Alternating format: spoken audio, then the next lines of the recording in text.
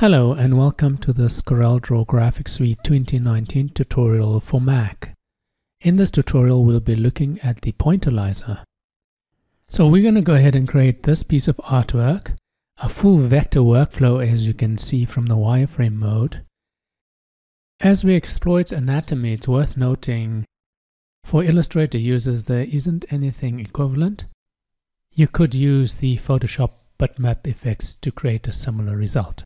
So what we're going to do is we're going to go ahead and choose this mustard colored ellipse from our artwork and we're going to move that to the top of the layer stack. We're going to do a right click, choose order and move it to in front of page.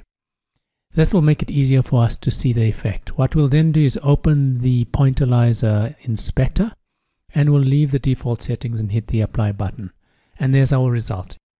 So if we choose wireframe, you can see it's full vector. Let's jump back to enhanced and we'll head over to properties and transparency. I'm going to change the blending mode to multiply so it sits better with the rest of the artwork. We'd like to remove the halftone effect from the subject's face.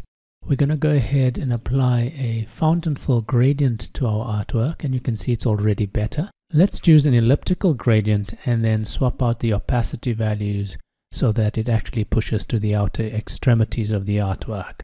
So the right hand side is going to be 100% opacity while the left will be zero. And there you can see it work perfectly well. We'd like to push it out a little further by just picking up the midpoint slider and dragging that to the left. And that's pretty much us done.